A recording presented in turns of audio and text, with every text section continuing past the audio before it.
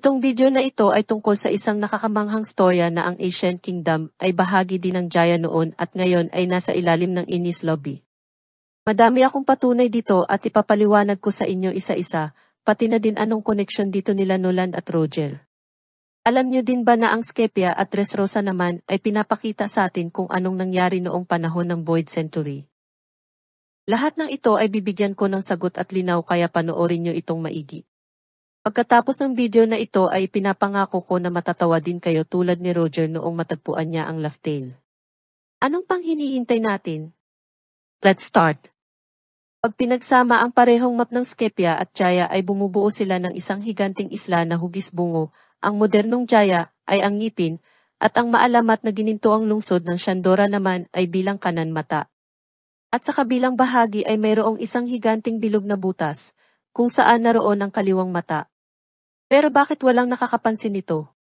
May isang ancient city sa kanan mata at hindi kaya meron din sa kaliwang mata.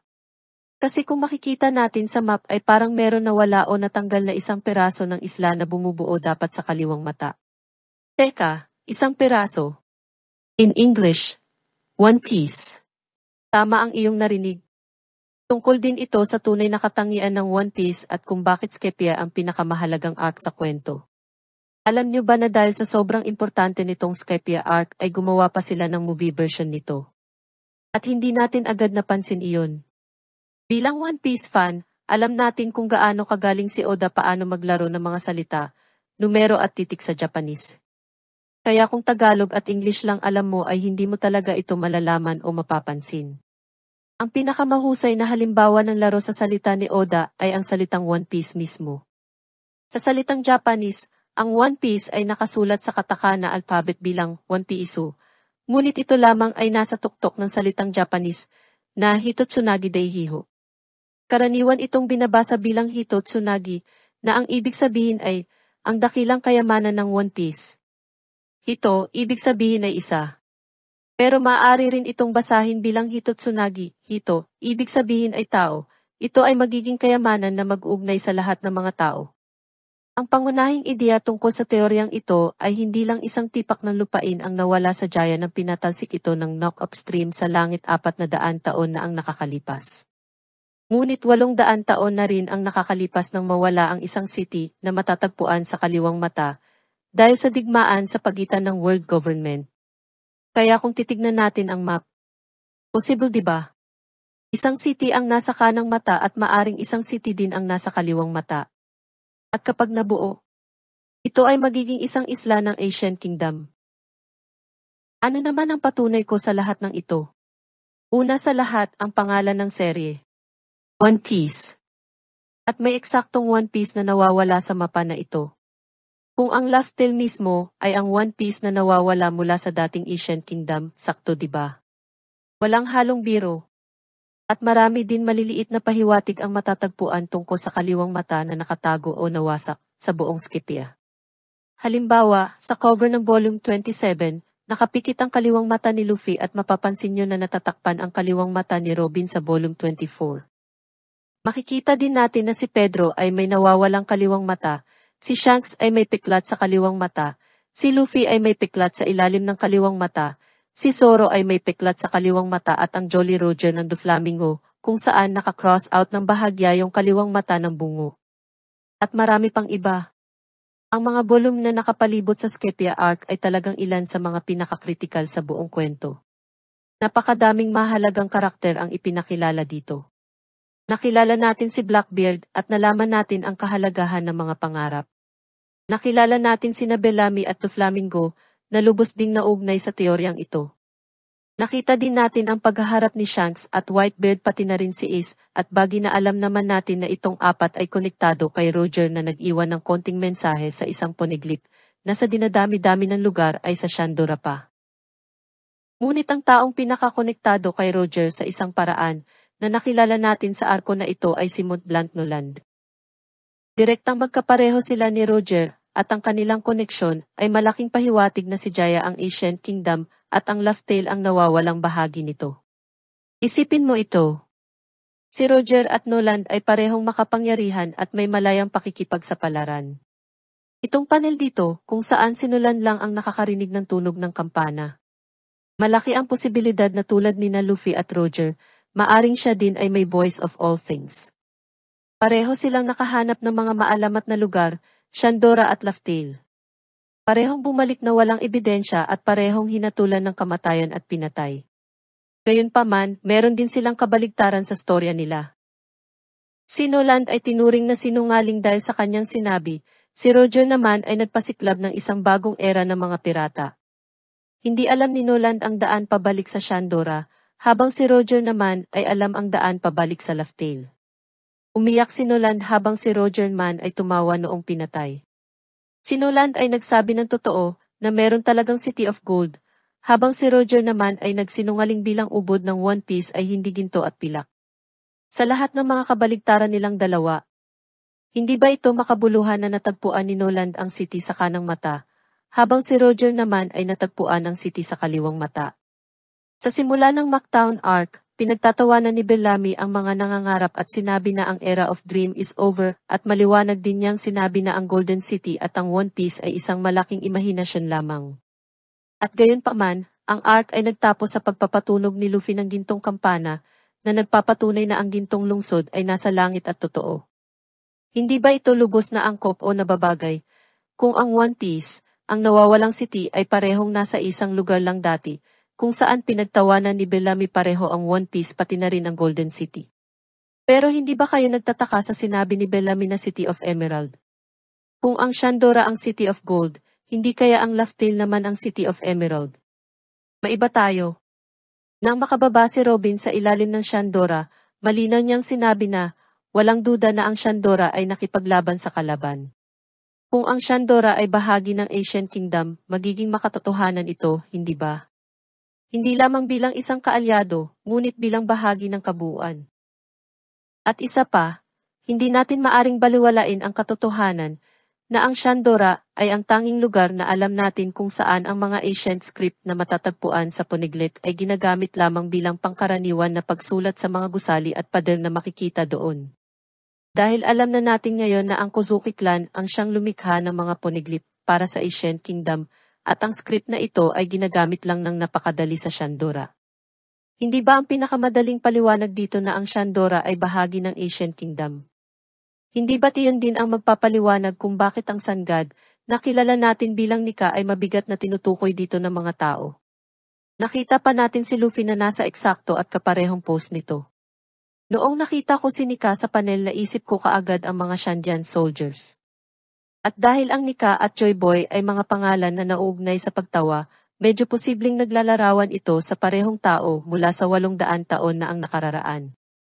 Hindi ba makatuwiran na ang mga tradisyong ito ay nabubuhay sa Jaya dahil dati itong parte ng isang Asian kingdom. Naisip ko din na hindi lang araw ang pinakamahalagang simbolo dito sa storya. At ang isa pa sa pinakamahalagang simbolo ay ang buwan. Ito ay laging nakikita kahit saan at hindi ko na mabilang lahat kung ilan beses meron nangyaring mahalagang bagay kapag full moon. Ang buwan at araw ay malinaw naman na magkasama sa halos anumang mitolohiya. Sa So, na isa pang kaalyado ng Ancient Kingdom, mayroon tayong mga tagapag-alaga ng gabi at araw, sila ni Kumamushi at Inuarashi. Kaya hindi ba makatuwiran kung ang nasa kanan ay City of the Sun at sa kaliwa naman ay ang City of the Moon? Oo nga pala nag-search pala ako kung saan nakabase ang Shandora sa realidad. Huwag kayo magugulat sa nalaman ko dahil meron talaga nito sa realidad at ito ay nasa ancient city ng Mexico na ang tawag ay Pyramid of the Sun at meron din na Pyramid of the Moon. Parehas naman na bahagi ng nasa Kosuke Heritage at kung saan ang crest ay halos kapareho ng mga Shandians. Kung ang Shandora ay ang Pyramid of the Sun. Maari kaya na ang Laftail ang Pyramid of the Moon. At habang iniisip ko ito, nakita ko itong color spread ng chapter 269, kung saan nakikita natin na ang mga straw hat ay nasa isang lugar na mukhang kahina-hinala katulad ng Wano, na napapalibutan ng mga ibon mula sa Kozuki Crest. Oo nga pala ang Kozuki Crest ay meron din na crossbones pero walang bungo. This is chapter 269. At ang huling panel ng chapter 268 ay ito. Nagkataon lang ba? Ang nakasulat sa pader na binasa ni Robin sa mga guho ay nagsasabing, We are the ones who weave history with the sound of the great bell.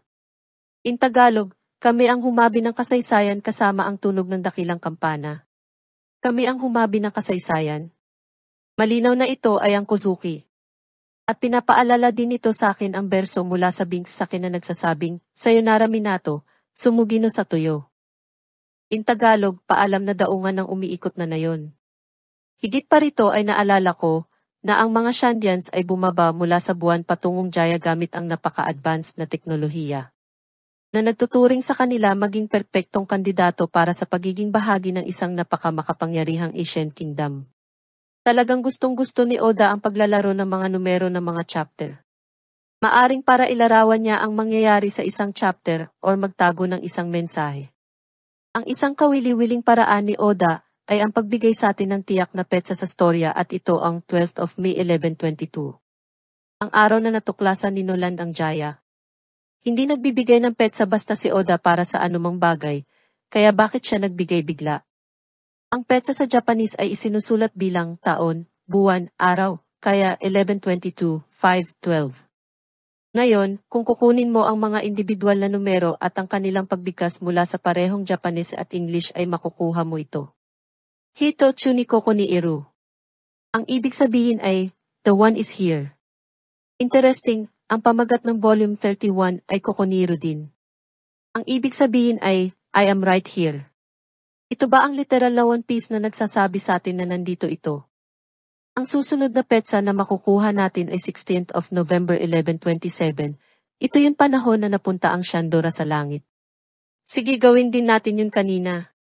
Sa pagkakataong ito ang makukuha natin ay Hitotsunagi Inintorodoro ko. Naalala mo ba yun kanina? Ang ibig sabihin ng Hitotsunagi ay the one piece. At ang inin ay is the sound of a bell. Kaya ang petsang ito ay mababasa, the one piece roars with the sound of a bell. In Tagalog, ang one piece ay dumagundong na may kasamang tunog ng kampana. Ang kampana ay nagkataon na bahagi ng hindi natupad na ipinangako kay Noland na patunugin ang kampana. Iyon ay pinamana sa mga henerasyon hanggang sa matupad ito ni Luffy. Ang isa pang pangakong hindi natupad at ipinamana sa mga susunod na henerasyon ay ang kay Joy Boy 800 taon na ang nakalipas. Kaya kapag binawasan mo ng 400 years ang dalawang petsa ni Nolan pabalik sa Void Century, ang mangyayari ay 1122 at 1127 bawasan mo ng 400, ang makukuha mo ay mga taon na 722 at 727. Ang una ay posibleng nagmamarka ng pangako ni Joy Boy sa prinsesa, at ang pangalawa ay ang taon ng pagkawasak ng Asian Kingdom. Kapag kinuha mo ang dalawang numerong ito 722 at 727 at tingnan ang mga kaukulang chapters, ikaw ay hindi lang basta makakakuha ng ilang mga random na bagay na nangyari. Ang 722 ay ang pagbunyag na si Doflamingo ay isang celestial dragon. Sa kabanatang ito, sinabi niya kay Lawang tungkol sa kung paano nilikha ng dalawampung hari ang world government. Labing siyam sa dalawampung pamilya ang nagpasya na lumipat sa Mariguis at ang pamilyang Nefertari lang ang nag-iisang hindi lumipat. Ang mga supling ng mga hari, ang mga mahalika ng mundo, ay naninirahan pa rin hanggang ngayon doon. Nangangahulugan ito na labing siyam na bansa ang kailangang pumili ng mga bagong mahalika at hari kaya nagkaroon ng mga bagong mahalika na naitatag. Sinabi niya na ang bagong nagaharing pamilya sa Dressrosa ay ang Rico family, habang ang pamilyang umalis kay Mary Guis ay ang Don Quixote family. May iba pa bang kawili-wiling nangyari sa kabanatang ito? Yes. Mayroon tayong literal na gintong kampana na tumutunog sa malapitan. Sa tingin mo iyon lang. Tanda niyo pa ba si Giola at ang kanyang mahusay na kasanayan sa sining? Tingnan mo itong abstract masterpiece niya. Isang higanting gate na may dalawang mata, ang kanang mata ay nakabukas at maliwanag na parang araw, at sa kaliwang mata naman ay lumuluha at madilim na parang gabi. Ito ay kumakatawan sa trahedya na nangyari sa Dressrosa at maaaring kumakatawan rin sa Asian Kingdom na nawasak sa Jaya. Makikita din natin si Brock na nagpapatugtog ng musika dito. Alam naman natin gaano kaimportante ang musika sa storya at pati na din ang gate. At pagkatapos talunin si Gyola ay sinabi pa niya ito. Sumimasen. 私やっぱり芸術わかりません 目が節穴ですから。 Samantala, ang mga Straw Hats at Tuntata ay sinimulan na ang laban para maibalik ang karangalan ng Poland King at manatili ang kanilang kalayaan. Sa chapter 727 naman, kung saan nagpapatuloy ang laban sa Block D. Narinig natin ang kwento ng pagkuha ni Doflamingo sa bansa sa pamamagitan ng pagkontrol kay Haring Riku at kanyang mga tauhan para atakihin ang sarili nilang mamamayan. Ang wordplay para sa chapter number na ito ay Chiniwo Ochiru. Ang ibig sabihin ay falling to the ground. Ngayon, maaari mong sabihin kung ang Dressrosa ay isang representasyon ng pagbagsak ng Asian Kingdom. Anong koneksyon meron sa pagitan ng Shandora at Dressrosa? Ang koneksyon ay ito, statwa ni Noland, ang kabanata kung saan nalaman ni Noland na ang Shandora ay naglaho, habang si Kagara ay naghihintay sa ipinangakong pagbabalik ni Noland sa chapter 292 na pinamagatang To meet, like the half moon hidden by clouds. Muli ang simbolo ng buwan ay makikita rin natin sa barko ni Nolan sa chapter na ito. At ang wordplay para sa isang ito ay tsukini, ang ibig sabihin ay two moons. In Tagalog, dalawang buwan. Sa madaling salita kapag pinagsama ang dalawang kalahating buwan ay bumubuo ito ng isang buo. Hindi kaya araw ang mabubuo. Hindi ba magkakaroon din ito ng malaking kahulugan na ang di ay talagang kalahating buwan? Walong daan taon na ang nakakalipas, na ang mga tao ng araw ay pinabagsak at ang dawn piece ay naging one piece. Ang isang buong bilog ay naging kalahating bilog at kalaunan ay naging isang letra. Hindi kaya ang ibig sabihin ng will of D ay maging buo ulit. Maging buo para maging araw. O baka naman maging one piece. Alam ko itong mga sinabi ko ay may kabuluhan. Ngunit ngayon sa pinakamalaking misteryo ng lahat, bakit sa tingin ko na ang One Piece at O, Last Tail ay nasa Inis Lobby? Meron tayong One Piece na kapag dinagdag ang D, ito ay magiging Don Piece. Ang unang bagay na nag-uugnay sa Inis Lobby dito, ay kapag dinagdagan mo din ang Inis ng D, ito ay magiging. denies, In Tagalog, ayaw tanggapin. Pero alin ang ayaw tanggapin? O baka naman sino ang ayaw tanggapin? Ang Inis Lobby ay isa sa mga pinaka nakakatakot na napuntahan nila. Meron itong napakalaking gate of justice na walang nagpapaliwanag nito, at ito rin ay isa sa mga pasilidad ng sentral na pamahalaan. Ngunit walang saysay bakit dito nila ginagawa ang paglilitis sa isang karagdagang isla, sa halip na pwede naman ito gawin sa Impel Down. At ano itong napakalaking butas sa gitna ng dagat? Sa sandaling tumingin ako sa mapa ng Inis Lobby. Ito ay nagbibigay ng napakadaming kahulugan na maari ito ang nawawalang piraso sa mapa ng Jaya na ating hinahanap. Tamang-tama at kasyang-kasya ang hugis nito, di ba? Hindi kaya ito ang nawawalang koneksyon na hinahanap natin. At ang gobyerno ay nagdesisyon lang magtayo ng sarili nilang mga bagay-bagay sa isla. Kaya ba'y pinaparada nila ang lahat ng mga pirata na nahuhuli nila sa islang ito?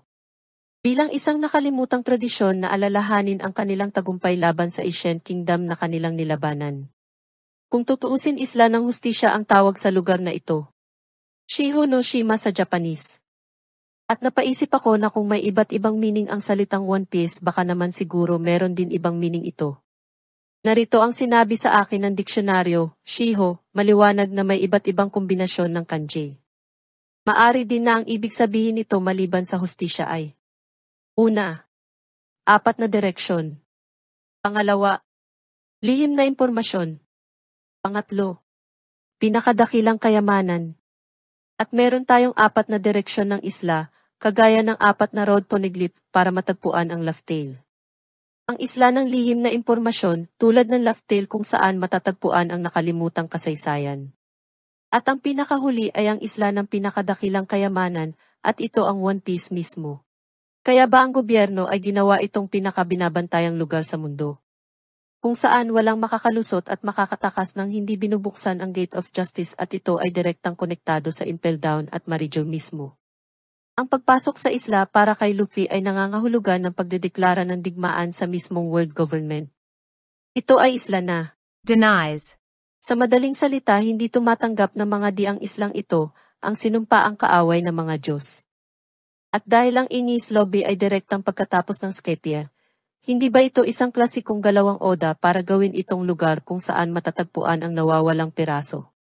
At ang mga straw hats ay literal na dumating upang iligtas ang isang tao na kayang makaalam ng tunay na katangian ng lugar na ito. Ang lahat ng ito ay tungkol kay Robin at sa kanyang natatanging kakayahan na basahin ang sinaunang script at ang kanyang paghahanap para sa katotohanan at kung paano ito tinatakpan ng gobyerno. At huwag kalimutan na dito natin unang nalaman ang tungkol sa Ancient Kingdom mismo. Gayunpaman, malinaw na ang One Piece ay hindi pwedeng mapunta sa isang lugar na puno ng mga marino. Kaya nasaan ito? Naalala niyo ba ang baligtad na kwento ni na Roger at Noland? Yun kay Noland ay ang City of Dreams at ito ay tinulak pataas sa langit. Paano naman kung ang kay Roger ay nahulog sa ilalim ng dagat? Mayroon bang anumang indikasyon na maaaring mayroong isang bagay sa ilalim ng Inis Lobby? Ano naman ito? Ang wordplay mula sa chapter 727 ay falling to the ground. In Tagalog, bumagsak sa lupa. Literal bang bumagsak sa lupa ang Laftail? Naniniwala ko na ang Inis Lobby mismo ay ang nawawalang lungsod mula sa Jaya, at ang nasa ilalim ng lumulutang na isla na ito ay ang isla ng Laftail at ang One Piece. Katulad ng nakatagong mundo sa ilalim ng Dressrosa. Kaya hindi na ko nagtataka bakit natawa si Roger nang marating niya ang Laftail. Wala siyang kaalam-alam na nakapunta na siya sa Ancient Kingdom dati at maraming beses na dumaan sa Laftail. Ang pinakamatibay kong patunay para dito ay ang mga huling salita ni Roger bago siya patayin. Ang pinakasalita na nagsimula ng One Piece. Muli ang sikreto ay nasa Japanese version. Ang sinabi niya ay, Kono yuno subete wo soko ni oit kita. Ang ibig sabihin ay, Iniwan ko ang lahat sa mundong ito, Soko. Soko sa Japanese ay nangangahulugang doon. Gayunpaman, mayroon din itong pangalawang kahulugan. Ang ibig sabihin ng Soko ay ilalim. Sa madaling salita, ang pangalawang kahulugan ng mga huling salita ni Roger ay, iniwan ko ang lahat sa mundong ito sa ilalim.